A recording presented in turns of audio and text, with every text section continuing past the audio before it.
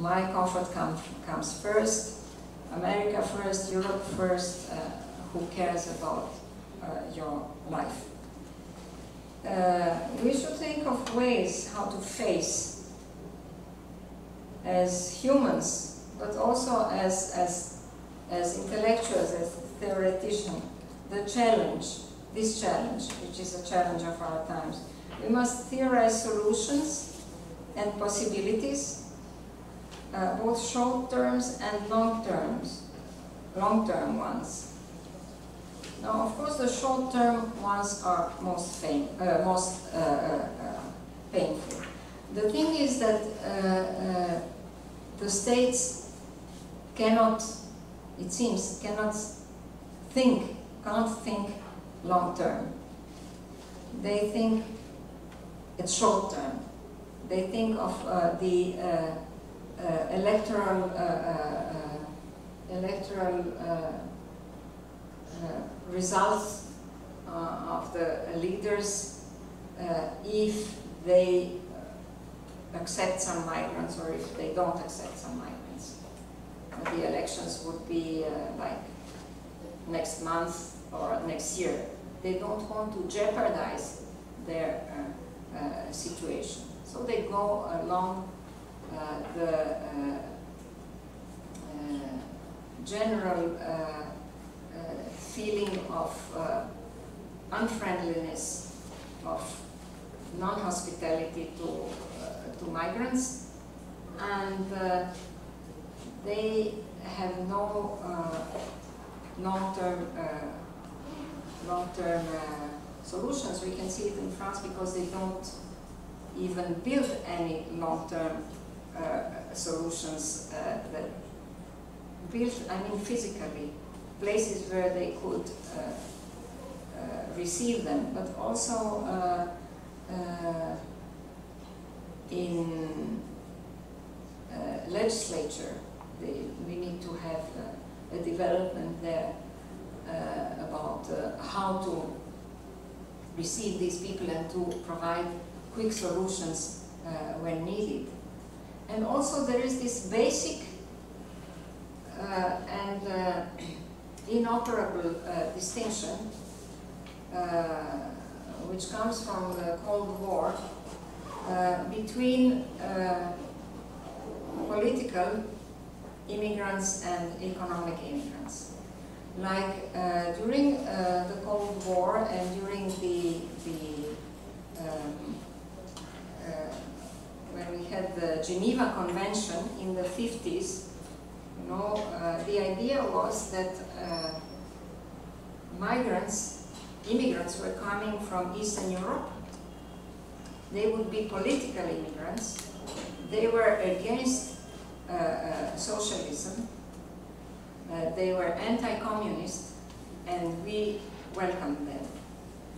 Uh, they did not used to come for economic reasons, uh, or we thought it, even if they did, additionally, it wouldn't matter because they were few and we could give them jobs.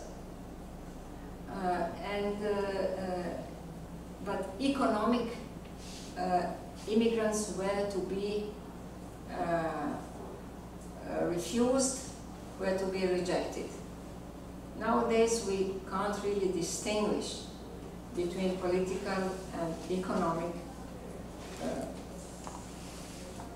uh, immigrants and uh, the politicians don't want to do this. They still make the distinction which doesn't work. So people who come to Europe for reasons that we call economic, uh, come also for political reasons that are behind those economic reasons, but that we don't want to see, and especially we don't want to see our responsibility for uh, that uh, situation. It is very difficult to go against this distinction uh, of political and uh, economic migrants, immigrants, but sooner or later we shall have to um, somehow break through and uh, make it understandable that this distinction is not viable. It is not viable. And, this is, and it is the basis of the situation we have today, legally. There, I think I'd better stop here and uh, maybe you have uh, some comments and, and, and additional ideas and critique. You're very welcome. Thank you.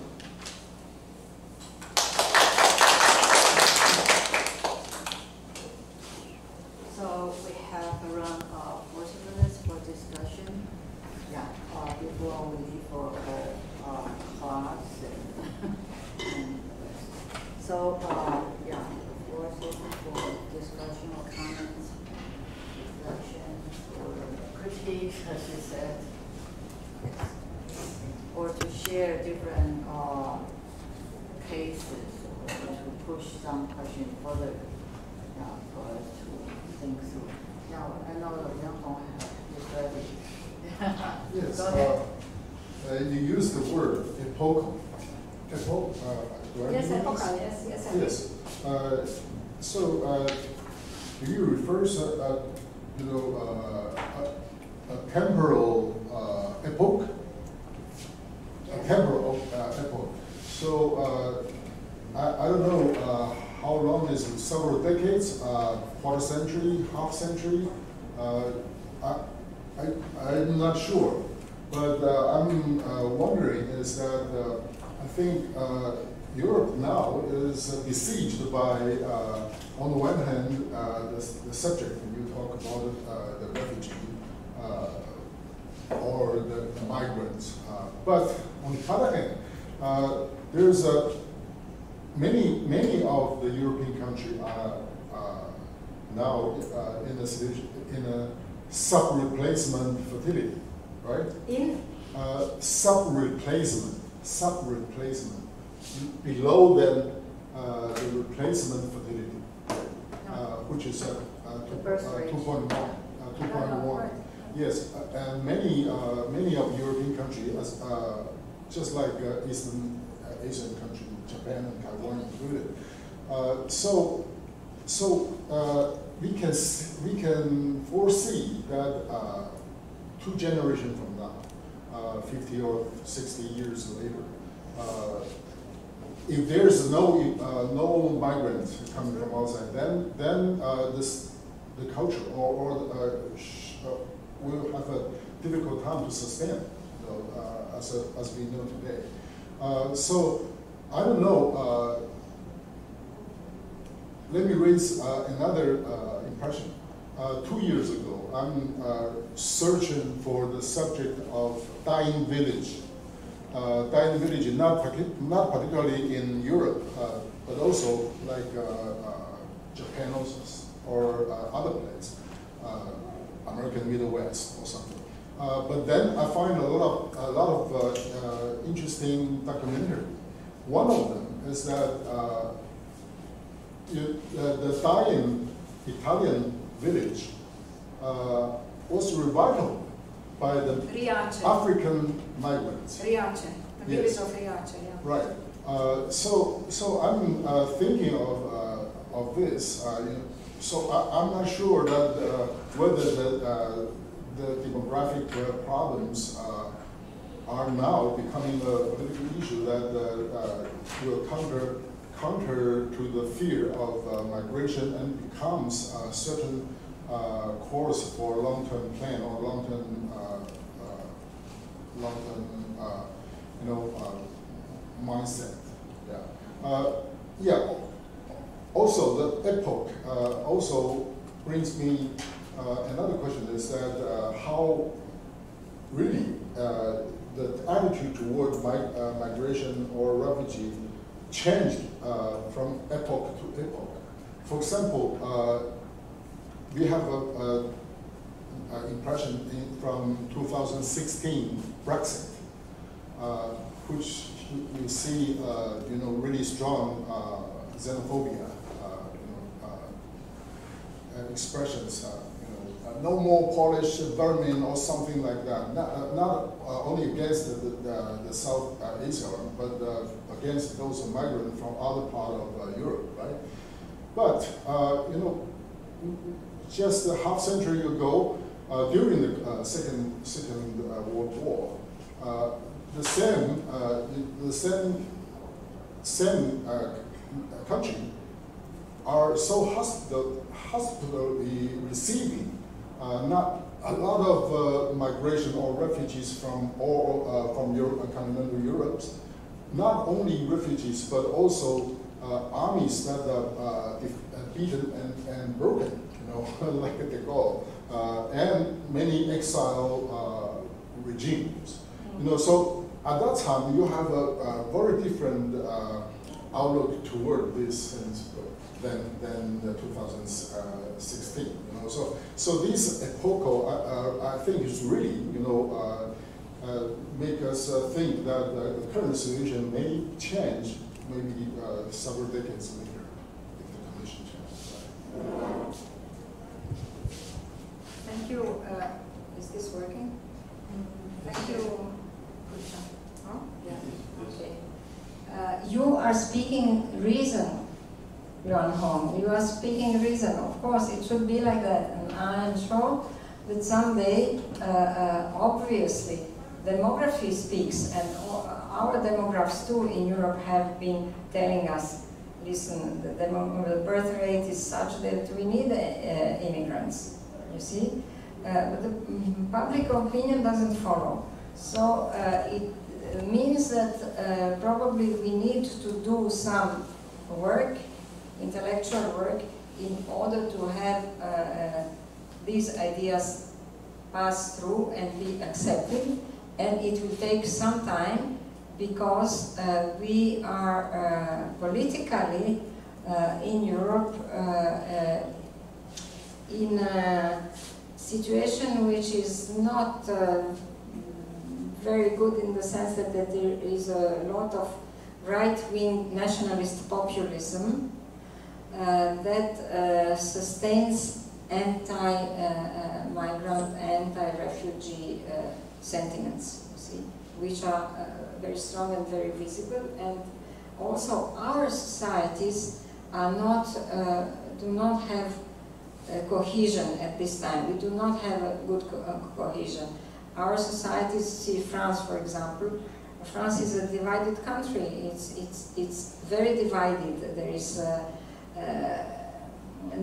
no consensus on, on, on, on uh, many things, on most things. So uh, the situation is politically not very sane. As for the epoch, when I said uh, this is an epochal uh, issue, uh, yes, I couldn't define the, the, the, the, timing, this is why I didn't define it also, and you are very right, we don't know. At some point, you know, it will uh, uh, turn over, but uh, we can't tell when that turnover is going to come. It seems that turnover to, to an opposite sentiment comes usually after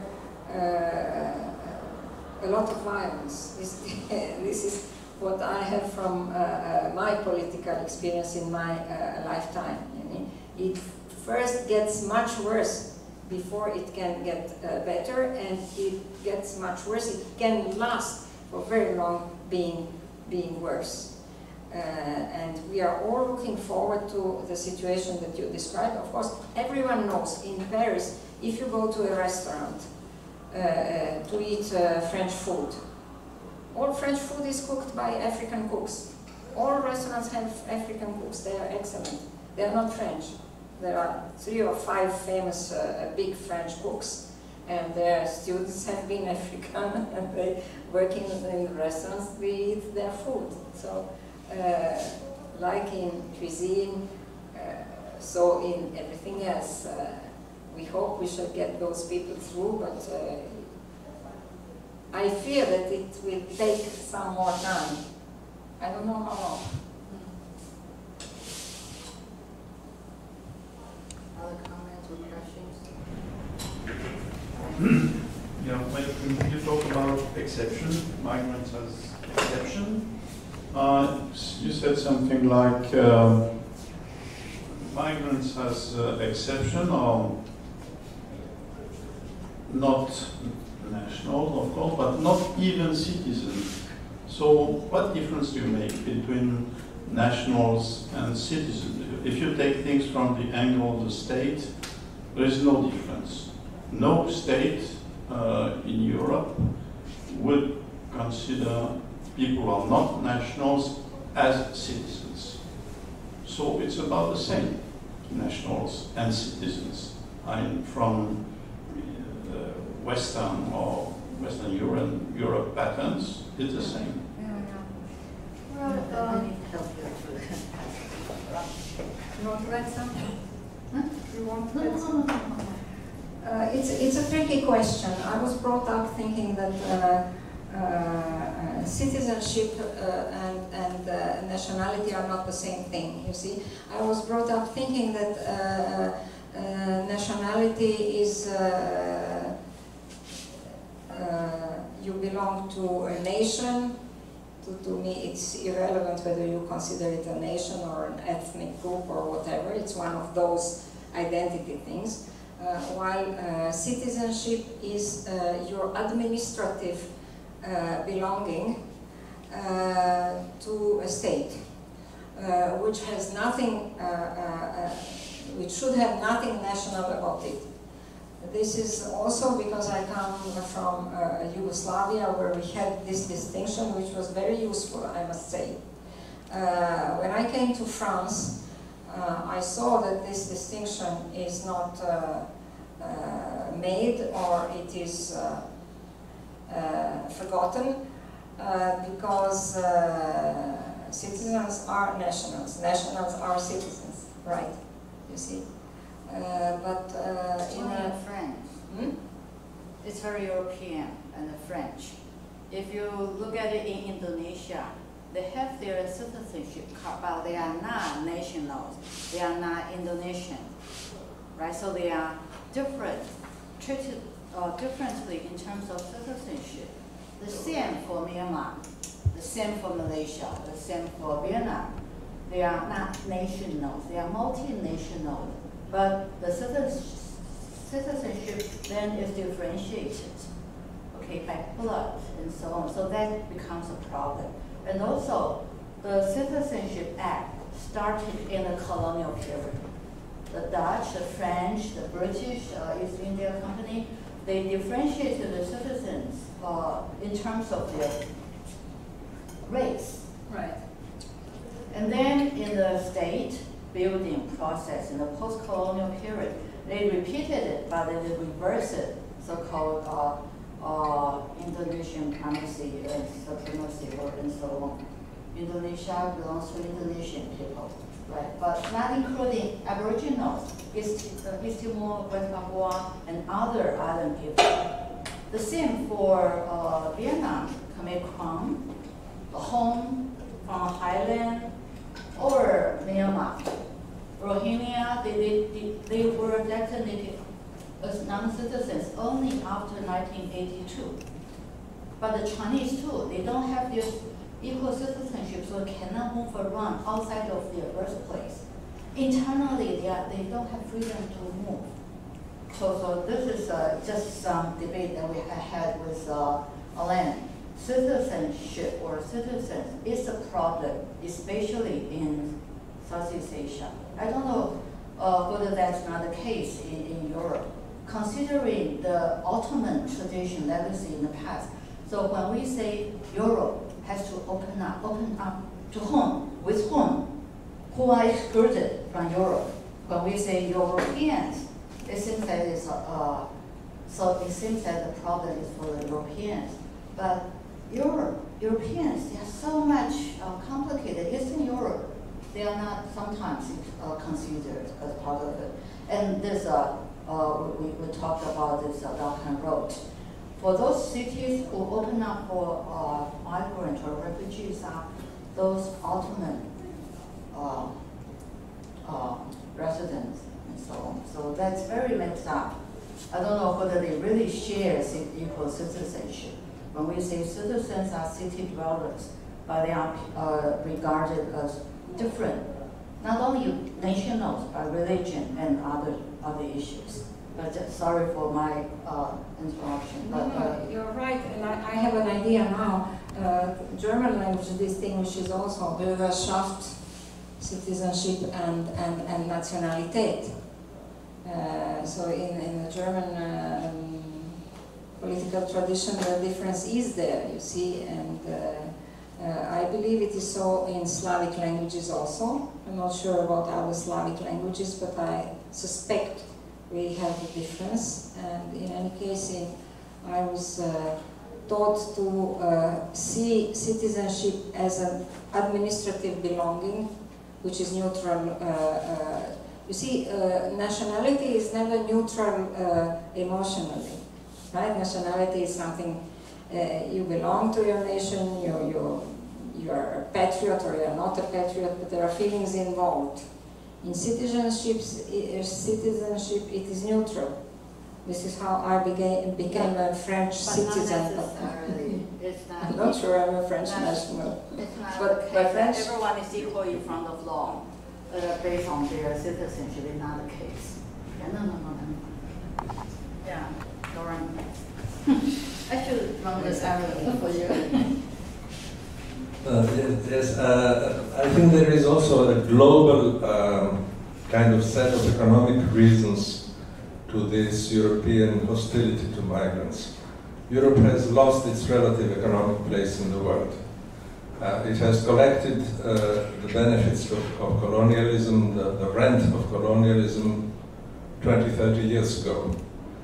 Uh, and it is relatively shrinking economically compared to the new emerging powers. China, even Africa has a very much higher growth rate, etc.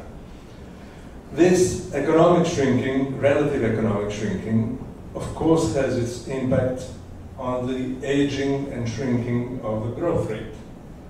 And culturally, uh, it produces a feeling of insecurity and fear an unjustified uh, idea that uh, migration will uh, is a threatening phenomenon. And uh, interestingly, uh, the fear of migrants is not in those uh, environments where you find many of them it's not in big cosmopolitan cities like London, like Paris, like New York. In those cities, the extreme right has very, very low electoral success. In Paris, the extreme right got, I think, less than 4% in the last elections. You find that fear, the highest fear of migrants, in, in small villages where people have never seen uh, or very few persons, have seen very few persons of a different color of skin or different behavior or different religion. Yeah, like it- it is. So it's it's maybe maybe there is a lot of room still for uh, pedagogic activism. I would say political pedagogic activism uh, to uh, influence, uh, uh, uh, to try to influence the, the change of uh, mindset uh, uh, and uh, idea about migrants. Other comments or questions? Yeah, pedagogical activism is very important, I think, not only in schools, but in all, all levels, to change the concept of so-called uh, citizens or nation, state. But uh, other comments or questions or cases? Yeah, is Um, Before you were talking about uh, that there are no facilities for immigrants. yeah, yeah. And, and I'm from Austria, and there we have a different kind of problem right now. It's a silly problem, but um, when there was the migration wave, wave in 2015, 16, so the NGOs and organizations who were helping the immigrants, they and also the In state. the fifties, was that in the fifties? 15. Ah, 2000. 2015, okay, that's Yes. different, yes. Um, and they um, tried to get like every house which was on the market, like big old sc- or schools and um, yeah, big houses, and they made contracts up to like the, for the next 10 to 20 years. But right now there are not that many immigrants coming back to or to Austria because of different reasons. There is like something like border control, and so it's really hard that immigrants get to Austria, and so it costs a lot of money. And if we would use the money for yeah for the people, it would be so nice and helpful. But it's This is one of the yeah. absurdities, I'm sure Yeah. there are many such absurdities. And then you were talking about Italy and the female, um, I, I forgot the name, um, captains, yes, Yes. captains of the ship. And I know a nice documentary about Carola Rackete. Yes, it's in German, but I think It's very nice. um, you could use subtitles and if someone would be Yes, interested. very good, very good. It's about the, the last event You've seen it, Chile. yes. Ah, yes, Excellent, okay. excellent, excellent. Yeah, so Everyone should see I it. would recommend There's probably one about Pia Klemp too, Yeah. probably. And the reason why we don't hear about um, NGOs getting to sea right now and saving people is that because the big ships are right now um, in the harbors and the police are there and they are not allowed to enter the sea. Yeah, yeah. They obstruct them, they don't Yeah. let them. Um, Also, yeah, you were talking about politics in Italy, and I was thinking, okay, but I know it's not right what is happening there, that they are closing the harbors, but there is no help from the from other countries in Austria, such as Austria. This is true. I mean, we have the facilities, we could help, and I'm so frustrated with politics that no one. Why can't we take the people and put them to all the countries? You You're know, right. not just to Italy. I I know that Italy must be really frustrated right now because they're on the sea, they have the harbor. Exactly, But what about uh, Austria, Czech Republic? exactly. Countries Yeah, right, who are right. not on the sea. Yeah. yeah right. You're very right, Yeah. you're very right, it's exactly like that. Thank you.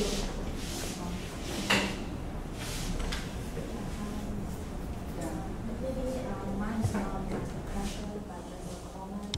Because uh, when you mentioned in the page six uh, about the fasci the relation between the fascism and the uh, technocratic, which is uh, how to say the the expert of the governance, and I really agree with that because even in the professions that will influence the policy of the government, they, they have many uh, opinions. One of them, maybe some, some professions, they will welcome the refugee or migrants. It is just because we need the labor, we have a lack of labor. That's why we will welcome the uh, migrants to uh, come as the labor for the production.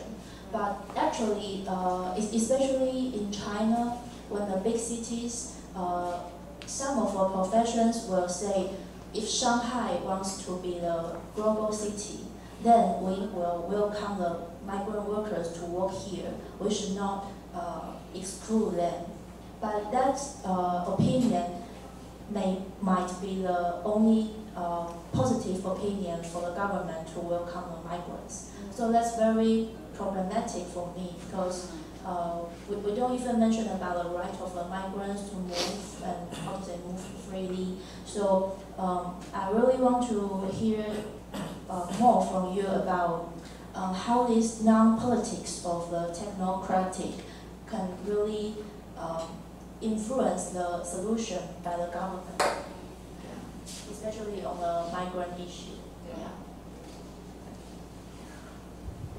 It's very difficult to answer that question. I do not have a ready-made answer uh, because I think that a lot of it uh, depends on uh, uh, how we get uh, through into public opinion uh, which will then make pressure on the governments to change their politics. So it's a long process. These are processes that are relatively long. They are never quick, but uh, sometimes it happens that uh, big events or big, uh, um, yeah, big events or, or accumulation